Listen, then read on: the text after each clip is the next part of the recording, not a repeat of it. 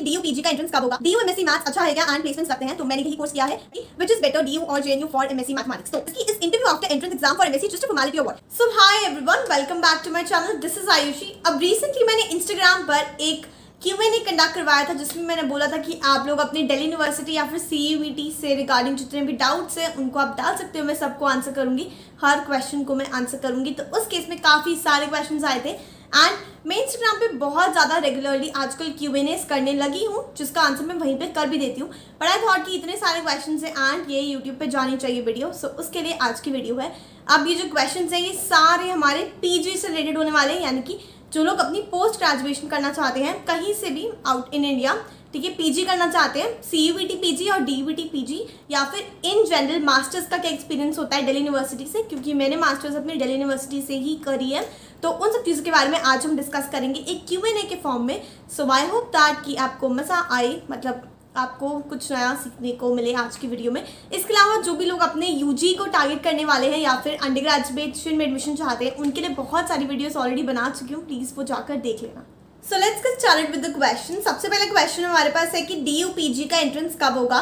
तो guys D U P G के majorly दो एंट्रेंस हैं जिनके बारे में ही मैंने आपको इन्फॉर्मेशन प्रोवाइड की थी पिछले वीडियो में. First is your C U T P G twenty twenty two and second is your D B T P G twenty twenty two अब C U T P G twenty twenty two की तो dates ही अभी? Form की close नहीं हुई eighteen को dates हैं तो उसका एक्सपेक्टेड डेट आपका बोला जा रहा है कि वो लास्ट वीक ऑफ़ जुलाई तक हो सकता है। एंड जो आपका डी वी टी है, उसकी डेट्स आपकी टेंथ जून को क्लोज हुई थी तो उसका एक्सपेक्टेड डेट है थर्ड वीक ऑफ़ जुलाई ये एक्सपेक्टेड डेट्स है ऑफिशियली अभी कुछ नहीं आया है तो कुछ कह नहीं सकते हैं। ये बस पूरा अप्रॉक्सीमेशन और एस्टिमेशन पर ही बेस्ड है। Now moving on to the second question that we have is which is MSc entrance के लिए तैयारी के लिए वीडियो बनाओ दी। सो एमएससी एंट्रेंस बहुत सारे सब्जेक्ट्स में होता है एंड मेरे को सब सब्जेक्ट्स के बारे में तो नहीं मालूम है। मुझे सिर्फ़ मैथ्स के बारे में बताया क्योंकि मैंने मैथ्स में ही अपना एंट्रेंस एग्ज़ाम दिया था एंड मैथ्स का ही मेरा सब्जेक्ट है। तो अगर आपको मैथ्स के लिए प्रिपेयर करना है, यानी कि अगर आपको D V T P G आप टारगेट कर रहे हो स्पेसिफिकली मैथमेटिक्स के लिए तो उस केस में मैं आपकी हेल्प कर सकती हूँ एंड आप मेरे थ्रू प्रिपेयर प्रिपरेशन कर सकते हो, हम लोग मिलकर आपका सिलेक्ट होना तय कर सकते हैं। मतलब इट इज़ पॉसिबल क्योंकि मैंने 2020 में एंट्रेंस एग्ज़ाम दिया था। पूरा सेल्फ स्टडी के बेसिस पर ही मैंने प्रिपरेशन की थी। 20 डेज़ में लास्ट के इसी एग्ज़ाम के लिए D V T P G twenty के लिए मैथमेटिक्स में एंड मेरे को A I R twenty eight मिली थी विद सेल्फ स्टडी तो डेफिनेटली आप भी कर सकते हो। एंड अगर आपको मेरे थ्रू या मेरे साथ प्रिपेयर करना है, हम लोग साथ में मिलकर इसको क्रैक करने की कोशिश कर सकते हैं। बेस्ड ऑन माई एक्सपीरियंस के क्या इंपॉर्टेंट क्वेश्चन होते हैं, क्या इंपॉर्टेंट टॉपिक्स होते हैं, किस तरीके से आपको सिलेबस को टैकल करना है। इस लास्ट इस एंड मोमेंट पे थर्टी टू फोर्टी डेज़ में तो उस केस में आप डिस्क्रिप्शन में लिंक है प्लीज़ उस पर जाके अप्लाई करो एंड देन या आई कॉन्टैक्ट यू एंड हम फिर स्टार्ट कर देंगे अपनी तैयारी तो now moving on to the third question है विच इज़ कि इस interview after entrance exam for MSc just a formality और व्हाट सो so, पहली बात तो ये डिपेंड करता है कि आप मास्टर्स के लिए कौन से इंस्टीट्यूट कौन सी यूनिवर्सिटी को टारगेट कर रहे हो ठीक है अगर मैं कुछ research institute I I S C के लिए बताऊँ तो वहाँ पर जाके इंटरव्यू उनका बहुत तगड़ा होता है ये साइंस वालों के लिए है तो बाकी लोग कंफ्यूज मत होना बहुत इंटरव्यू मेजर पार्ट होता है आपके सिलेक्शन का। वहीं पे अगर मैं आईआईटी के लिए बताऊँ तो आईआईटी जहाँ हमारा एंट्रेंस होता है, उसके बाद इंटरव्यू सिर्फ़ ऊपर के एक दो आई के लिए होता है, उसके अलावा कोई आई आपका इंटरव्यू नहीं लेती है। अगर मैं आप दिल्ली यूनिवर्सिटी की तरफ़ आऊँ डेली यूनिवर्सिटी में सिर्फ़ आपको अगर स्टीफेंस में एडमिशन चाहिए तो आपको इंटरव्यू देना होगा पोस्ट ग्रेजुएशन के लिए। एंड इस इंटरव्यू में मैंने भी इंटरव्यू दिया है। इस इंटरव्यू में सिर्फ़ आपके एकेडमिक क्वेश्चंस यानी कि आपके सब्जेक्ट आपकी मैथमेटिक्स रिलेटेड क्वेश्चंस ही आएँगे, या फिर जो भी आपका सब्जेक्ट है, उस रिलेटेड क्वेश्चंस आपसे पूछे जाते हैं। तो that is regarding the interview formality नहीं होता है ये, ठीक है? एंड ये इंपॉर्टेंट पार्ट होता है इंटरव्यू आपका इंपॉर्टेंट पार्ट होता है। इसके अलावा एक और चीज़ इंपॉर्टेंट पार्ट होती है, यहाँ पे वो होती है आपकी मेरिट जो बन रही होती है, उसके बेसिस पे भी आपको कुछ मार्क्स दिए जाते हैं। So that was our third question है। And now we go to the next question, which is, can we do MSc Physics from Delhi University after two year gap? So, इसका answer है definitely yes बहुत सारे students हैं जो कि आपकी, अपनी बैचलर्स को ख़त्म करते हैं, उसके बाद वो किसी और करियर ऑप्शन में, किसी और फ़ील्ड में निकल जाते हैं. सपोज़ आपकी प्लेसमेंट होगी बैचलर्स के बाद तो आप वहाँ निकल गए, नहीं तो हो सकता आपने बी एड में एडमिशन लिया, आपने बी एड करी दो साल के, आप वहाँ निकल गए. लेकिन आप दो साल बाद फिर से आ सकते हो एंड डेफिनेटली अप्लाई कर सकते हो मास्टर्स प्रोग्राम के लिए. एंड ये पॉसिबल है, आपको एंट्रेंस एग्ज़ाम क्लियर करना होगा. And yes, you can do this after a gap year as well, after two gap years as well. Now moving on to the next question, which is D U M S C maths अच्छा है क्या? And placements लगते हैं तो मैंने यही course किया है, पहली बात तो। तो D U M S C mathematics जो है ऑनेस्ट ओपिनियन अगर मुझे अपना इसके बारे में देना हुआ, होगा तो ये पूरा थ्योरी बेस्ड है। यानी कि आपको हर ईयर में, दोनों सालों में और हर सेमेस्टर में बहुत सारे थियोरी के सब्जेक्ट्स दिए जाएँगे। तो बहुत सारी थियोरी इन्वॉल्व है। एक यहाँ पे ड्रॉबैक ये है कि कोई प्रोजेक्ट नहीं कराया जाता तो जो भी लोगों को रिसर्च में या फिर आगे पीएचडी के लिए अप्लाई करना है, उनको प्रोजेक्ट्स की ज़रूरत पड़ती है, लेकिन दिल्ली यूनिवर्सिटी में अभी तक तो प्रोजेक्ट कोई नहीं है, लेकिन काफ़ी सारे और यूनिवर्सिटीज़ में लास्ट फाइनल सेमेस्टर में एक प्रोजेक्ट भी होता है, पर यहाँ पर नहीं है अनफॉर्चुनेटली इसके अलावा पूरा थियोरेटिकल बेस्ड होता है, लेकिन अगर किसी को टीचिंग लाइन में जाना है तो उसके लिए ये कोर्स बहुत अच्छा है। एंड स्पेसिफिकली अगर आपको एंट्रेंस एग्ज़ाम्स जैसे कि नेट एंड जे क्लियर करने हैं तो आपका जो सिलेबस होता है उन एग्ज़ाम्स का, वो काफ़ी ज़्यादा अलाइंड होता है हमारे दिल्ली यूनिवर्सिटी के कोर्स करिकुलम के साथ। तो उस केस में आपको ये काफ़ी बेनिफिशियल लगने वाला है। बात करते हैं प्लेसमेंट्स के बारे में तो प्लेसमेंट्स ना हर साल डिपेंड करती हैं। अब बहुत साल तो अच्छी अच्छी प्लेसमेंट्स भी होती है। एंड देखा जाए तो इसकी जो प्लेसमेंट्स है, वो काफ़ी स्ट्रॉन्ग है।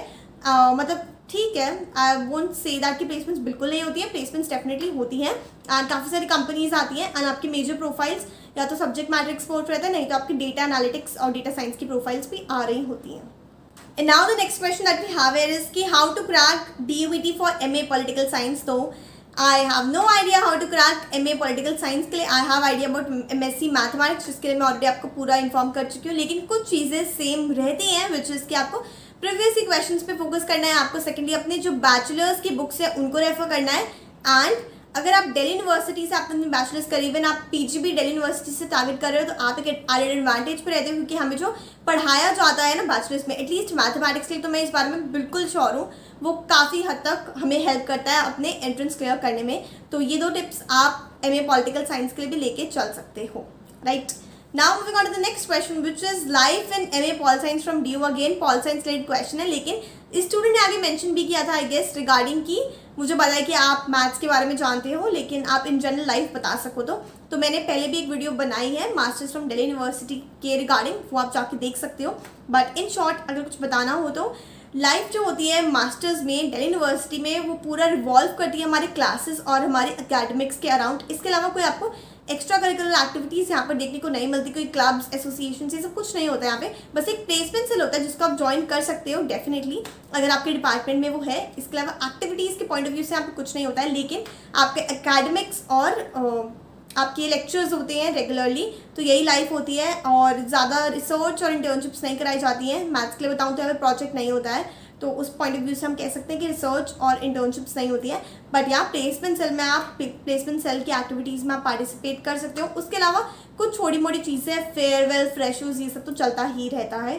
तो this is an honest an honest opinion regarding masters की life not to demotivate anybody but just telling truth guys but ये काफ़ी मोटिवेटिंग है देखा जाए तो। And now moving towards the last question for today's video which is कि which is better DU or JNU for MSc Mathematics. तो पहली बात तो जेएनयू में एम एस मैथ्स बहुत ही रिसेंट कोर्स आया है, ठीक है? एंड यहाँ पे कम सीट्स हैं as compare to Delhi university बहुत कम सीट्स हैं। देखा जाए तो अगर आपको रिसर्च के पॉइंट ऑफ़ व्यू से जाना है तो जेएनयू भी एक आपका अच्छा ऑप्शन हो सकता है, क्योंकि जितने डिफरेंसेस मैंने नोटिस किए सबसे पहले तो ये होता है कि जेएनयू में आपके फाइनल सेमेस्टर में एक एकेडमिक प्रोजेक्ट कराया जाता है मतलब आपको करना होता है, लेकिन दिल्ली यूनिवर्सिटी में कोई ऐसा प्रोजेक्ट नहीं होता है। तो एक आपका ये एक डिसाइडिंग फैक्टर हो सकता है। इसके अलावा प्लेसमेंट्स के पॉइंट ऑफ़ व्यू से मैं कहूँगी कि दिल्ली यूनिवर्सिटी बेटर है एज कंपेयर टू जेएनयू क्योंकि दिल्ली यूनिवर्सिटी का जो प्लेसमेंट सेल है आपका मैथ्स के लिए वो स्ट्रॉन्ग है। एंड uh, मेरे को जे के बारे में इतना आइडिया नहीं है बट कंसिडरिंग कि जे थोड़ा रिसर्च तरफ़ ज़्यादा है एंड अगर आपको थोड़ा कन्फ्यूज़न है कि रिसर्च है कि क्या है तो आप दिल्ली यूनिवर्सिटी डेफिनेटली टारगेट कर सकते हो। बट मेरे ओपिनियन में आप दोनों एंट्रेंस एग्ज़ाम्स के फॉर्म्स भरो एंड दोनों एंट्रेंस दो एंड फिर make a decision and yeah this is all so yes guys this was all about today's video i hope that you really really like this video if you did like the video please to hit the like button please channel को subscribe कर दो यार थोड़ा तो support करो ठीक है इसके अलावा जो भी चीज़ें मैंने बताई हैं हर चीज़ का लिंक आपको डिस्क्रिप्शन बॉक्स में मिल जाएगा तो प्लीज़ जाके एक बार चेकआउट कर लेना एंड या please I will see you the next video till then bye